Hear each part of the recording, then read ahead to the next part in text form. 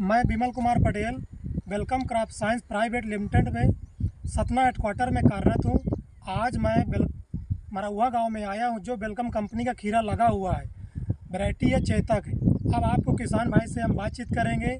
इसकी क्या खास बात है कैसा इसका रिज़ल्ट कैसा है? भैया आपका नाम क्या है? अमित कुमार कुशवाहा। अमित कुमार कुशवाहा। गाँव क्या क्या नाम है? ग्राम मरुआ ग्राम जिला क्या लगता है? सतना। सतना। जो आप खेत में खीरा लगा किस कंपनी का लगा हुआ है? चेतक। चेतक है। वेलकम कंपनी का चेतक है। कितने ग्राम लगाए थे खीरा आप? ये दस ग्राम। दस ग्राम। और ये कब बुआई किए थे आप खेत? ये अठारह जनवरी। अठारह जनवरी को बुआई किए। जी। इसकी हार्वेस्टिंग मतलब तोड़ाई कब से करने लगे? फ़र्स्ट तोड़ाई कब किए हो इसकी? मार्च चौदह मार्च या तेरह मार्च को। मतलब तेरह चौदह मार्च को फ़र्स्ट तोड़ाई किए हो। फ़र्स्ट तोड़ाई में कितना निकला है ये? फ़र्स्ट जुलाई में तो मान लो पाँच किलो स्टार्टिंग में निकला अच्छा। अब अभी दस कितनी तोड़ाई हो गई इसकी? इसकी दस बारह तुड़ाई हो दस से बारह तोड़ाई। कितना निकाल लिए हैं अभी तक में इसको?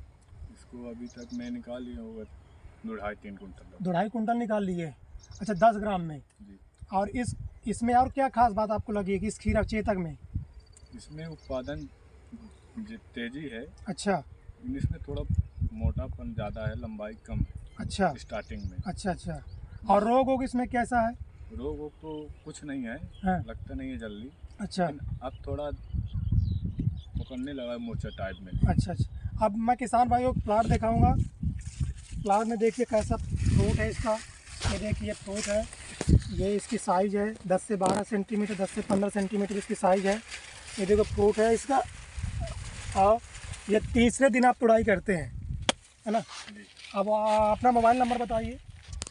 Seven eight nine eight double nine eight five four seven अच्छा आप किसान भाइयों क्या संदेश देना चाहते हैं अपने गाँव वालों को? ये खीरा कैसा लगाएँ कि ना लगाएँ? सभी कोई लगाए अच्छा है उत्पादन तेज़ी है इसका। अच्छा अदर कंपनी से उत्पादन इसका ज़्यादा है? जी। आप पहली बार लगाए थे इस खीरा को तो और कभी लगाए थे? पहली बार। पहली बार लगाए। अगले साल कितना लगाएँगे आप?